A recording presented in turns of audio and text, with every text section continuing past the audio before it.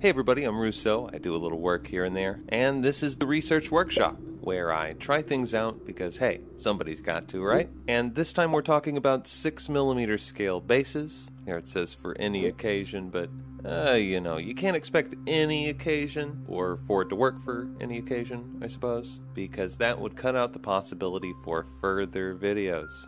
Still, moving on. You can see we have six different bases here all spinning around, probably a little too fast to look at, but we will rectify that in just a moment.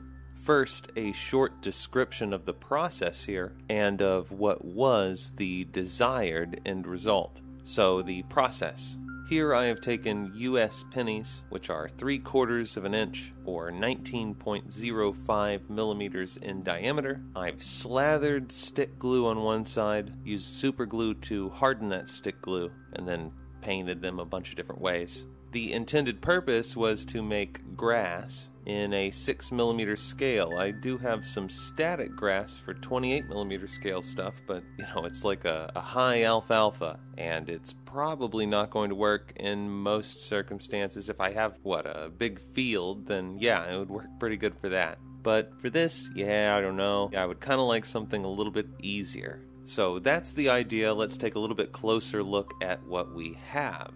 As I said, there are six bases here, all made the same way. The first one is grass with a bit of dirt. The second one is mud or wet dirt with a bit of grass. Then we have dry dirt, you know, with the same texture, so those could be little rocks or clumps of dirt.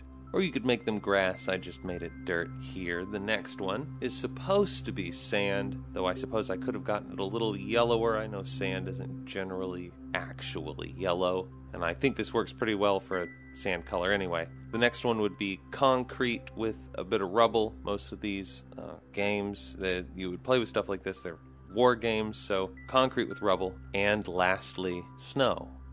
So uh, the secret is a blue undercoat, if you're wondering.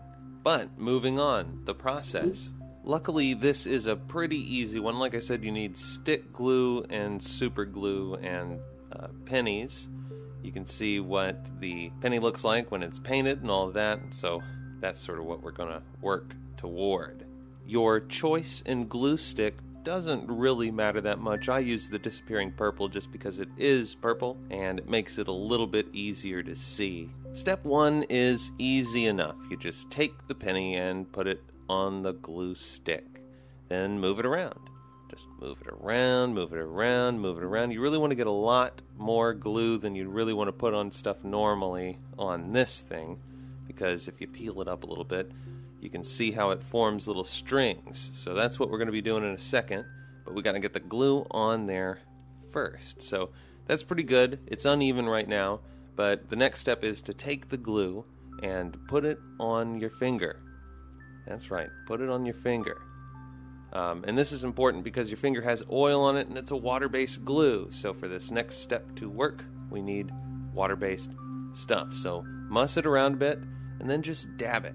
Dab, dab, dab, dab, dab, and dab, dab, dab, dab, dab, dab.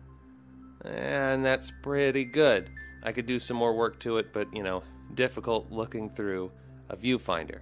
Then you're going to take your super glue and you're going to do two drips, not anymore, just one and two.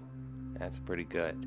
And I will say now, don't worry if super glue gets on your fingers, it's to get on your fingers. The penny's to get stuck to your fingers. So get your toothpick and rake that stuff around. Let's just move it, move it around, get total coverage.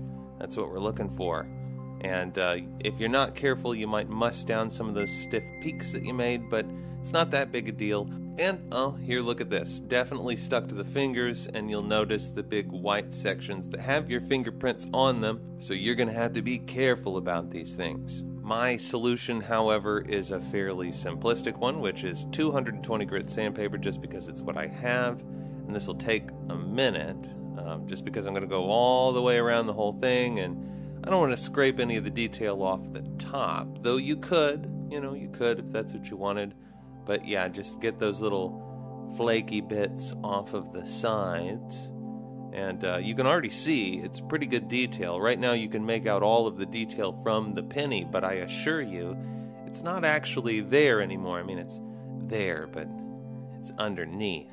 So, really, nothing to worry about. And uh, yeah, there we go. We got a penny that's looking pretty good, and now the only step is to prime and paint. And for my purposes in priming, I know this isn't really like an official primer, but uh, chisel tip Sharpie. First, you go around the edges and pay special attention to get the, the bottom edge on the side that you haven't put anything on, because that'll show through sometimes. And then you can come back and color in the top. So uh, after this, you just have to paint it any of those ways. You're going to be using a, a water based paint, so the alcohol based Sharpie marker should stay on there and make sure that you don't start seeing penny through. But you might, so just be careful. Uh, either way, this texture, like I said, will work for all sorts of things. So even though my primary concern was the uh, grass with a little bit of dirt, really the strength of this is that you get a little bit of texture. And really, with a little bit of texture, you can, well, paint that however you want. So yeah, that's it. 6mm scale bases for any occasion, almost just about don't sue me. So until next time, you've been watching the Research Workshop on Rouseau Works, and I'm Rouseau. Out.